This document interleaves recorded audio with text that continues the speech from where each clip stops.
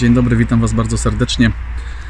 25 kwietnia we wtorek o poranku.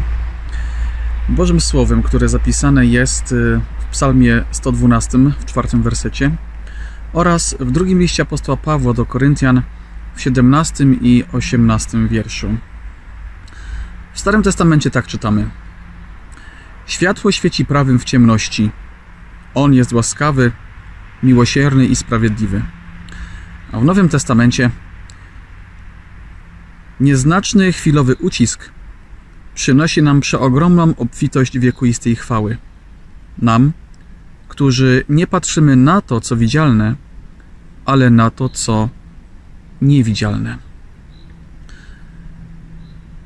Moi drodzy, może czasami się nam wydawać, że sytuacja, którą przeżywamy, jest totalną ciemnością beznadzieją. E,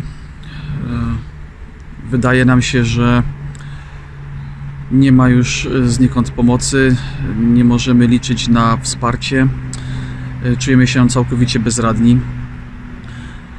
Jesteśmy słabi, jesteśmy zrezygnowani, jesteśmy dobici pewnymi sytuacjami, pewnymi sprawami.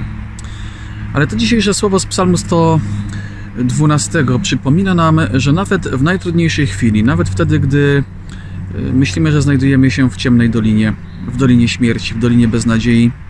Nawet wtedy y, Bóg jest z nami i pomaga nam przejść przez każdą y, przeżywaną, zaistniałą sytuację. To prawda, ciemność nie napawa optymizmem, ale zawsze na końcu ciemności, na końcu nocy jest wschód słońca, brzask, poranek, nadzieja, życie. I tak też jest y, w tych wszystkich chwilach, które wydawają nam się y, beznadziejne.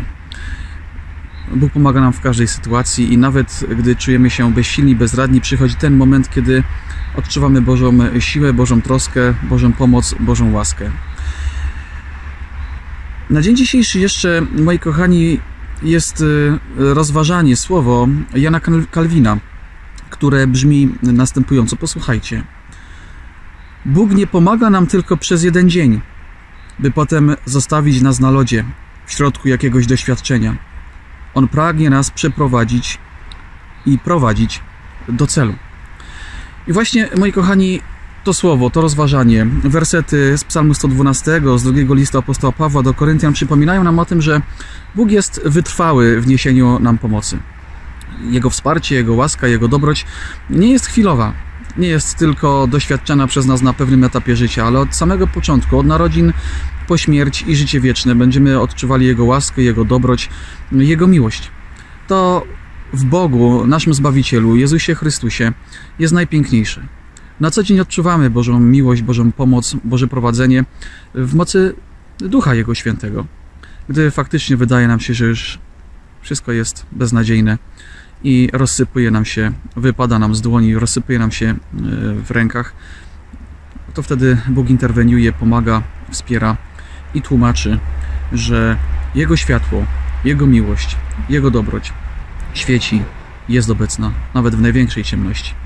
Moi drodzy, życzę Wam Bożej światłości, Bożej miłości na każdy dzień, tego abyśmy nie czuli się zrezygnowani, abyśmy szukali zawsze wsparcia i pomocy w Bogu, nawet jeżeli sytuacja jest najtrudniejsza, najsmutniejsza. Pamiętajmy o tym, że On czeka na nas, jest z nami i pragnie nam pomagać. Życzę Wam pięknego i błogosławionego wtorku, wszystkiego co dobre. Przed chwileczką świeciło słońce, teraz zaczyna kropić deszczyk, ale to też ku temu, aby przyroda się ożywiła. Także życzę Wam wszystkiego co dobre. Do zobaczenia z Bogiem. Pięknego wtorku Wam życzę i pozdrawiam z Kluczborka. Pa. Amen.